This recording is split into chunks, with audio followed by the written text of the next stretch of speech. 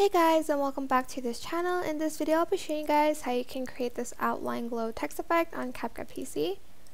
Go to text and add in your default text and type in anything you want. I'm just going to type in the word space. Also going to select a font for it.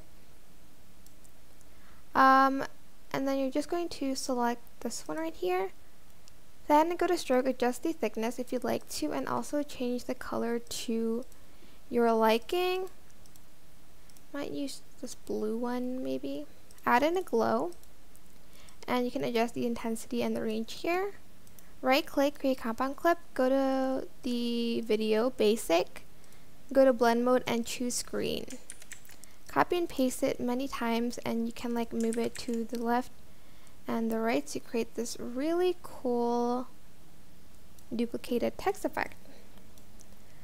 Um, you can like only copy and paste it once or twice. It's up to you. But yeah, I hope this tutorial was helpful for you guys. Don't forget to like, comment, share.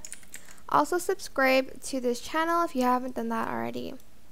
If you have any questions, just leave it in the comment section down below and I will try my best to answer them all for you guys.